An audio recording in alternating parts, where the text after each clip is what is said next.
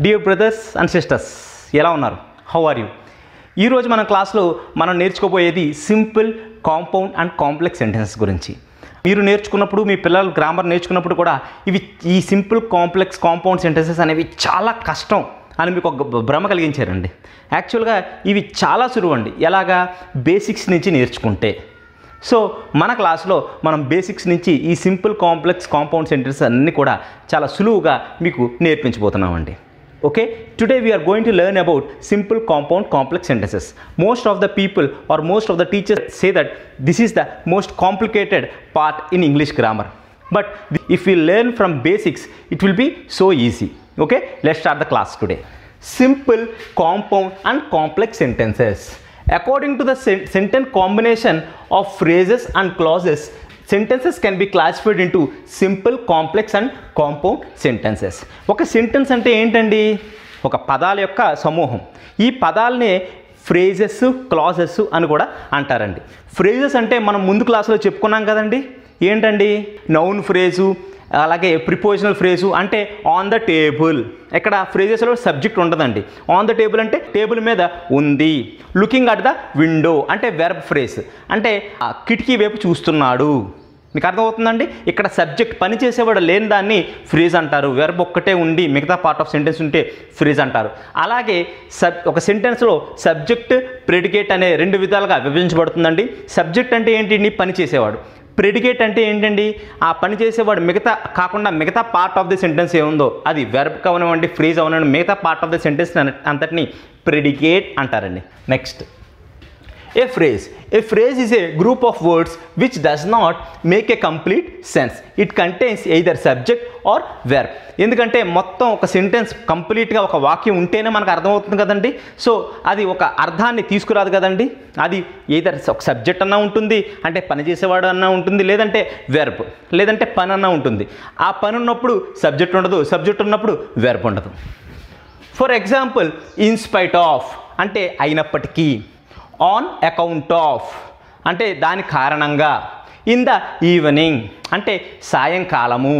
ఇక్కడ ఏం జరిగింది సాయంకాలం అనేది చెప్పరండి. Next clause a clause is a group of words which forms a sentence and contains both subject and predicate ఇది ఏంటండి? క్లాజ్ అంటే ఏంటి? క్లాస్లో సబ్జెక్టు వెర్బ్ రెండు ఉంటాయండి. ఇది రెండు రకాలండి. ఏంటంటే అవి main clause or independent clause this has a subject and predicate and it gives a complete sense అంటే ఏంటండి? ఈ మెయిన్ క్లాస్ అంటే ఏంటంటే ఇండిపెండెంట్ క్లాస్ అంటే ఒక వాక్యం ఉందనుకోండి ఆ వాక్యం మీకు అర్థమైపోవాలి. For example he is rich అతడు చాలా ధనవంతుడు. అంటే మీకు అర్థమైపోతుంది కదండి?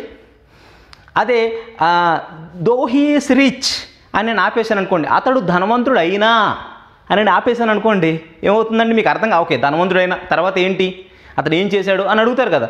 బట్ ఒక కంప్లీట్ అర్థాన్ని ఇచ్చేది ఏదైతే ఉందో హీస్ రిచ్ అతడు ధనవంతుడు అని చెప్పేది ఏదైతే ఉందో దాన్ని మెయిన్ క్లాస్ అలాగే ఇండిపెండెంట్ క్లాస్ అంటారండి. అది దేని మీద ఆధారపడదు. ఒక అర్థాన్ని మీకు చూపించడానికి.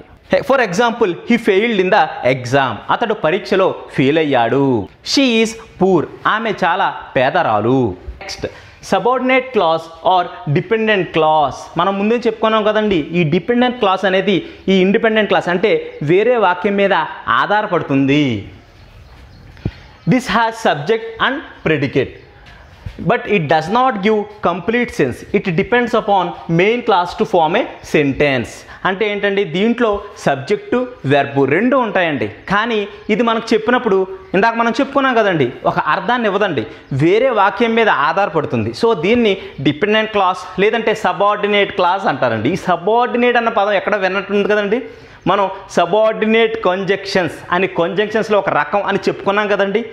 దాంట్లో ఏంటంటే ముందు వస్తుందండి. ఆ సబార్డినేట్ కంజెక్షన్ అనేది వాక్యం ముందు వస్తుందండి. సో ఇది కూడా అదే విధంగా ఉంటుందండి. చూడండమ్మా for example though he worked hard అంటే అతడు కష్టపడినా అని ఆపేశాను అనుకోండి మీకు ఏమైనా అర్థమవుతుందా? అర్థమవుతుంది కదండి. ఇఫ్ యు ఆర్ థర్స్టీ అంటే నీకు దాహం అయితే అని నేను ఆపేశాను అనుకోండి. ఓకే దాహం అయితే ఏం చేయమంటారు? అని మీరు అడుగుతారు కదా. ఇలా సగం ఆపేసే దాన్ని dependent clause or subordinate clause అంటారండి. సార్ ఇవన్నీ ఎందుకు చెప్తున్నారండి? అని మీరు అడిగితే ఇవన్నీ చెప్పకుండానే అందరూ సింపుల్ కా కాంప్లెక్స్ కాంపౌండ్ సెంటెన్స్ గురించి చెప్పేస్తారండి. బట్ మన క్లాస్లో మనం ఏం చెప్తున్నాం? వీటి యొక్క కాంబినేషనే సింపుల్ కాంపౌండ్ కాంప్లెక్స్ సెంటెన్సెస్ అండి. Let's see to that simple sentence a sentence with only one main clause that is independent clause and phrase is called a simple sentence ఇది ఇది ఏంటండి? ఒక మెయిన్ క్లాస్ అంటే ఒక ఇండిపెండెంట్ క్లాజు లేదంటే మరియు ఒక చిన్న ఫ్రేజు ఓకే వీటి కాంబినేషనే సింపుల్ సెంటెన్స్ అండి. చాలామంది ఫ్రేజ్ అని చెప్పరండి బట్ ఫ్రేజ్ కూడా ఒక సింపుల్ సెంటెన్స్లో ఒక కాంబినేషన్ అండి. ఎగ్జాంపుల్ చూడండి. In spite of being poor he is honest అంటే అతడు పేదవాడే అయినప్పటికీ చాలా నిజాయితీపరుడు. He is too short to touch the switch board అంటే అతడు చాలా పొట్టివాడు స్విచ్ బోర్డ్ ముట్టుకోవడానికి. దీంట్లో ఈ మధ్యలో ఏమి ఈ కంజక్షనల్ వర్డ్స్ రావండి. అవి ఎక్కడ వస్తాయండి కాంపౌండ్ సెంటెన్స్లో వస్తాయి. చూడండి. Compound sentence a sentence with two or more main clauses with connector is called compound sentence ఇదేంటండి? ఇప్పుడు మెయిన్ క్లాస్ అంటే ఇండిపెండెంట్ క్లాస్. దేని మీద ఆధారపడదని చెప్పుకున్నాం కదండి? అంటే ఏ సెంటెన్స్ చెప్పినా మీకు అర్థమైపోతుంది. సో ఇలాంటి రెండు సెంటెన్సెస్ అంటే ఇలాంటి రెండు వాక్యాలు దేని మీద ఆధారపడకుండా అర్థం ఇవ్వగలిగిన రెండు వాక్యాలని కలుపుతూ ఒక చిన్న కంజంక్షన్ మధ్యలో ఉంటుందండి. దాన్ని ఏమంటారండి? కాంపౌండ్ సెంటెన్స్ అంటారండి. చూడండి. He is rich but he is unhappy ఇక్కడ అతడు చాలా ధనవంతుడు అన్నా మీకు అర్థమవుతుంది. అతడు చాలా బాధగా ఉన్నాడు అన్నా మీకు అర్థమవుతుంది. ఈ రెండింటిని కలిపి బట్ అనే కంజక్షన్ అంటే కానీ అనే కంజక్షన్ యూజ్ చేసి రెండింటిని కలుపుతారు చూసారా? దాన్ని కాంపౌండ్ సెంటెన్స్ అంటారండి. He is rich but he is unhappy అతడు ధనవంతుడు కానీ చాలా బాధతో ఉన్నాడు. Next farmer saw the tiger and he escaped అంటే రైతు పులిని చూశాడు మరియు అతడు పారిపోయాడు. ఒక అర్థమవుతుందండి? ఇక్కడ రైతు పులిని చూశాడన్నా మీకు అర్థమవుతుంది. రైతు పారిపోయాడు అన్న కూడా కొంచెం మీకు అర్థమవుతుంది కదండి? బట్ అండ్ అనే దాంతో ఈ రెండు వాక్యాల్ని కలపడం వల్ల ఒక కంప్లీట్ మీనింగ్ వస్తుందండి. Next complex sentence. A sentence with one main clause and one or more subordinate clause is called complex sentence ఒక ఇండిపెండెంట్ క్లాసు ఒక డిపెండెంట్ క్లాసు ఈ రెండింటిని కలపాలి. అంటే అర్థం ఇవ్వలేనటువంటి సగం వాక్యము అర్థం ఇచ్చే పూర్తి వాక్యం ఈ రెండింటిని కలిపి చెప్పేదే ఈ కాంప్లెక్స్ సెంటెన్స్ అండి. దీనికి స్టార్టింగ్లో మనం ఒక సబార్డినేట్ కంజక్షన్ పెడతామండి. చూడండి. For example though he is rich he is unhappy అంటే ఏంటండి? అతడు ధనవంతుడే అయినప్పటికీ అని నేను ఆపేసాను అనుకోండి అర్థం కాదు కదండి? అలా కాకుండా అతడు ధనవంతుడే అయినప్పటికీ అతడు చాలా బాధతో ఉన్నాడు. Next ah she was ill she did not attend the class ఇక్కడ స్టార్టింగ్ చూడండి ఆస్ అనే పదం వచ్చింది. అంటే ఆమె అనారోగ్యంతో ఉండడం వల్ల ఆమె క్లాస్కి రాలేదు. నెక్స్ట్ అండి. ఇవన్నీ కలిపి ఈ మూడిట్లని కూడా రకరకాల కొన్ని మోడల్స్ ఉన్నాయండి. ఆ మోడల్స్ అన్నీ కూడా మనం ఈ క్లాసులో నేర్చుకుందాం. సో ఎప్పుడైతే ఆ మోడల్స్ మీకు వచ్చేసేవో ఏ స్ట్రక్చర్ వచ్చినా మీ పరీక్షల్లో ఏ సెంటెన్స్ వచ్చి దాన్ని కాంపౌండ్లోకి మార్చమన్నా కాంప్లెక్స్లోకి మార్చమన్నా కాంప్లెక్స్ని సింపుల్లోకి మార్చకన్నా మీరు ఈజీగా మార్చేయగలరండి. Okay? Models of combining simple compound and complex sentences చూడండమ్మా. Model number one in spite of ఈ ఇన్స్పైట్ ఆఫ్ అంటే ఏంటండి? అయినప్పటికీ. In spite of his hard work he was not selected అంటే అతడు బాగా కష్టపడినప్పటికీ అతను సెలెక్ట్ కాలేదు. ఇది సింపుల్ సెంటెన్స్ అండి. కాంపౌండ్ సెంటెన్స్ ఇక్కడ ఎలా చెప్పుకోవాలండి? బట్ ఆర్ ఎట్ యూజ్ చేసి ఈ రెండు వాక్యాల్ని రెండు ఇండిపెండెంట్ క్లాస్ని అంటే రెండు అర్థవిచ్చే వాటిని కలిపితే దాన్ని కాంపౌండ్ సెంటెన్స్ అని చెప్పుకున్నాం కదండి? చూడండి ఇక్కడ. But or yet he worked hard అతడు కష్టపడ్డాడు. కానీ అతడు సెలెక్ట్ కాలేదు. But he is not selected next complex sentence ఇదేమవుతుందండి? అంటే ఇక్కడ ఫస్ట్ సబార్డినేట్ కంజెక్షన్లో ఆ కంజెక్షన్ అనేది తీసుకుని ఒక అర్థం ఇవ్వగలిగిన సెంటెన్స్ ఇంకొకటి అర్థం ఇవ్వలేనటువంటి సెంటెన్స్ అంటే ఆధారపడిన సెంటెన్స్ రెండింటిని కలుపుతుందని చెప్పాం కదండి? దీన్ని మనం కాంప్లెక్స్ సెంటెన్స్ అంటాం. ఇక్కడ చూడండి దో ఆల్ దో ఈవెన్ దో ఈ మూడింటిని ముందు పెట్టిన ఈ మూడింటి అర్థం ఇంచుమించుగా ఒకటేనండి. Though he worked hard he was not selected although he worked hard he was not selected even though he worked hard he was not selected అంటే అతడు కష్టపడినా అతడు సెలెక్ట్ కాలేదు. Next because of or owing to అంటే కారణంగా. Because of his hard work he was selected అంటే అతడి కష్టం కారణంగా అతడు సెలెక్ట్ అయ్యాడు. నెక్స్ట్ అండ్ సో దీన్నే కాంపౌండ్ సెంటెన్స్గా ఎలా మార్చాలి? అంటే రెండు రెండు వాక్యాలుగా విడదీసి మధ్యలో కనెక్టర్ పెట్టాలండి. అండ్ సో దేర్ ఫోర్ ఉపయోగించి ఇలా చేయొచ్చండి. He worked hard and so he was selected అలాగే he worked hard therefore so he was selected అంటే ఏంటండి? అతడు చాలా కష్టపడ్డాడు. కాబట్టి అతను సెలెక్ట్ అయ్యాడు. అతడు కష్టపడ్డాడు. అందువలన అతను సెలెక్ట్ అయ్యాడు. సెలెక్ట్ అయ్యాడు అంటే పాస్ట్లో చెప్పేది కాబట్టి ఇక్కడ వజ్ వచ్చిందండి. టెన్సెస్లో మనం చెప్పుకున్నామండి. నెక్స్ట్ దీన్నే కాంప్లెక్స్ సెంటెన్స్ కింద మార్చాలి. అంటే ఒక వాక్యం మీద ఇంకొక వాక్యం ఆధారపడినట్టు అర్థం వచ్చేలా ఉండాలి. అప్పుడు ఏం చేయాలండి? ఆజ్ అనే పదం conjunction వాడాలండి. As he worked hard he was selected అతడు కష్టపడ్డాడు కనుకే అతను సెలెక్ట్ అయ్యాడు. అలాగే దీంట్లో బికాస్ అనే మాట కూడా వాడచ్చండి. He was selected because he worked hard అతను సెలెక్ట్ అయ్యాడు. ఎందుకంటే అతడు కష్టపడ్డాడు కాబట్టి. Next in case of not in case of not అంటే ఒకవేళ కాకపోతే. In case of not working hard you will not be selected ఈ సింపుల్ సెంటెన్స్ ఎలా ఉంటుందండి? నువ్వు కష్టపడకపోతే నువ్వు సెలెక్ట్ అవ్వవు. Next work hard or or otherwise or else ఈ మూడిట్లే అర్థాలు ఇంచుమించుగా ఒకటే ఉంటాయండి. Work hard or or else otherwise you won't be selected అంటే కష్టపడు లేదంటే నువ్వు సెలెక్ట్ అవ్వవు. కాంపౌండ్ సెంటెన్స్ అండి. లేదు లేదా అనే మాట మధ్యలో వస్తుంది రెండు సెంటెన్స్కి అలాగే work hard otherwise you won't be selected will not won't ఒకటే అర్థం అండి. అదర్వైజ్ అంటే ఏంటంటే లేకపోతే కష్టపడు లేకపోతే నువ్వు సెలెక్ట్ అవ్వవు.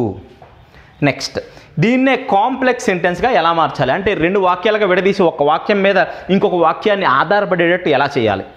Unless you work hard you won't be selected అంటే నువ్వు కష్టపడకపోతే నువ్వు సెలెక్ట్ అవ్వవు. ఈ అన్లెస్ అంటే కాకపోతే అని అర్థం అండి. నెక్స్ట్ ఆన్ సీయింగ్ ఇదే సింపుల్ సెంటెన్స్లో ఈ ఆన్ సీయింగ్ ఉపయోగించి ఎలా చెప్తాము?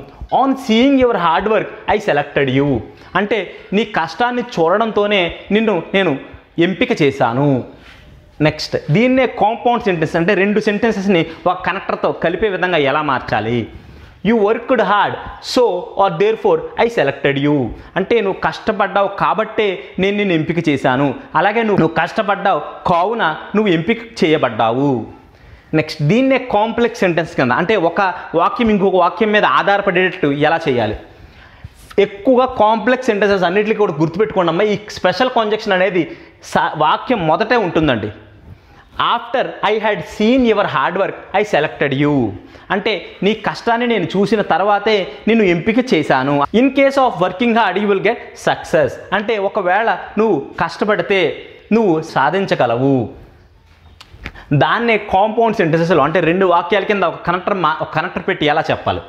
Work hard and then you will get success. కష్టపడు అప్పుడు నువ్వు సాధించగలవు అని చెప్పాల్సి వచ్చినప్పుడు అండి దన్ అంటే అప్పుడు అండి. అలాగే దాన్నే కాంప్లెక్స్ సెంటెన్స్ కింద అంటే ఒక వాక్యం మీద ఇంకొక వాక్యం ఆధారపడేలా ఎలా చేసుకోవాలి? If you work hard you will get success అంటే నువ్వు కష్టపడి ఉంటే నువ్వు సాధించగలవు అని చెప్పేటప్పుడు అండి టూ ఇనఫ్ ఆర్ టూ ఇది ఎక్కువగా పరీక్షల్లో ఎక్కువగా వచ్చే ఫామ్ అండి model form. He is too short to touch the switch board. అంటే అతడు చాలా పుట్టిగా ఉన్నాడు స్విచ్ బోర్డ్ అందుకోవడానికి. అది సింపుల్ సెంటెన్స్ అనుకోండి. అదే కాంపౌండ్ సెంటెన్స్. అంటే అదే అదే దాన్ని మనం రెండు వాక్యాలుగా మార్చి కనెక్టర్ తోటి ఎలా కనెక్ట్ చేయాలి? Very and therefore he is very short and therefore he cannot touch the switch board అంటే అతడు చాలా పుట్టుగా ఉన్నాడు. అందుచేత అతడు ఆ స్విచ్ బోర్డ్ని ముట్టుకోలేడు. ఇప్పుడు కాంప్లెక్స్ సెంటెన్స్లోకి ఎలా మార్చాలి? కాంప్లెక్స్ అంటే ఒక వాక్యం మీద ఇంకో వాక్యం ఆధారపడి ఇంకో వాక్యం ఆధారపడి ఉంటుందని చెప్పాం కదండి. He is so short that he cannot touch the switch board అంటే ఏంటండి? అతడు చాలా పొట్టివాడు. అందుచే కావున అతడు ఆ స్విచ్ బోర్డ్ ముట్టుకోలేడు. ఈ దట్ అనే దానికి దట్ అంటే అంట అని కదండి కానీ కావురా అని చెప్పారండి. అందుకని ఇంగ్లీష్లో కొన్ని కొన్ని వాటికి మల్టిపుల్ మీనింగ్స్ ఉంటాయి. అంటే రకరకాల అర్థాలు ఉంటాయి. ఆ వాక్యాన్ని బట్టి అర్థాలు మారిపోతూ ఉంటాయి. నెక్స్ట్ బిసైడ్స్ ఇన్ ఎడిషన్ అంటే ఏంటండి? Besides giving them food Ram gave them money అంటే ఏంటండి? వాళ్ళకి భోజనం పెట్టడం మాత్రమే కాకుండా రామ్ వాళ్ళకి డబ్బులు కూడా ఇచ్చాడు. బిసైడ్స్ అనేదానికి అదనంగా అని అర్థం అండి ఇది సింపుల్ సెంటెన్స్ అయితే కాంపౌండ్ సెంటెన్స్ ఎలా ఉంటుందండి? అంటే రెండు వాక్యాలుగా మార్చి మధ్యలో కనెక్టర్ ఎలా పెట్టాలి? Ram gave them not only food but also money not only but also structure అండి. కనెక్టర్ అండి. సో ఏంటండి? రామ్ వాళ్ళకి భోజనం పెట్టడం మాత్రమే కాకుండా వాళ్ళకి డబ్బులు కూడా ఇచ్చాడు. ఈ కూడా అది మాత్రమే అనే అర్థం వస్తుందండి. ఈ నాట్ ఓన్లీ బట్ ఆల్సోకి దీనికి కాంప్లెక్స్ సెంటెన్స్ ఈ ఫామ్కి ఉండదండి. ఓకేనండి నెక్స్ట్. బీయింగ్ ఉండడం. Being sick he cannot come. అంటే అతడు అనారోగ్యంగా ఉండడంతో అతడు రాలేడు. అది సింపుల్ సెంటెన్స్ అండి. అదే కా కాంపౌండ్ సెంటెన్స్. అంటే రెండు వాక్యాలుగా ఎలా విడదీయాలి? కనెక్టర్ ఉపయోగించి. ఇక్కడ కనెక్టర్ ఏంటండి? సో కాబట్టి. He sick so he cannot come. అతడు అనారోగ్యంగా ఉన్నాడు కాబట్టి అతడు రాలేడు. దాన్నే కాంప్లెక్స్ సెంటెన్స్లోకి అంటే ఒక వాక్యం మీద ఇంకొక వాక్యానికి మీద ఆధారపడేలాగా ఎలా మార్చాలి? As he sick he cannot come అతడు అనారోగ్యంగా ఉండడం వలన అతడు రాలేడు. ఇక్కడ ఆజ్ అనేదానికి వలన అనే అర్థం వస్తుందండి. బికాజ్ అన్న ఆజ్ అన్న ఇంచుమించుగా ఒకటేనండి. వాక్యాన్ని బట్టి అర్థం వాడాలండి. ఇలా మనం ఈ స్ట్రక్చర్స్ ఉపయోగించి మీ ఎగ్జామ్స్లో ఏ సింపుల్ సెంటెన్స్ ఇచ్చి కాంపౌండ్లోకి మార్చమన్నా కాంప్లెక్స్లోకి మార్చిన మార్చమన్నా మీరు దాన్ని చాలా సులువుగా మార్చగలుగుతారండి. సో ఈ ఇప్పుడు మనం సింపుల్ కాంప్లెక్స్ కాంపౌండ్ యొక్క కంప్లీట్ ఎక్స్ప్లెనేషన్ కంప్లీట్ చేసామండి so please support my channel like my channel and subscribe to my channel. And మీ ఫ్రెండ్స్కి కొంచెం షేర్ చేయండి. చాలామంది మీ ఫ్రెండ్స్కి వాళ్ళ పిల్లలకి చదువుతూ ఉంటారు. వాళ్ళ గ్రామర్లో కూడా కాన్సెప్ట్ అనేది చాలా హెల్ప్ అవుతుంది. అలాగే ఇది మామూలుగా మన ఇంగ్లీష్ మాట్లాడేటప్పుడు కూడా ఇలాంటివి నేర్చుకోవడం వల్ల రెండు మూడు వాక్యాన్ని కలిపి ఒకేసారి మాట్లాడొచ్చండి. So thank you for spending your valuable time on watching my videos keep smiling నమస్తే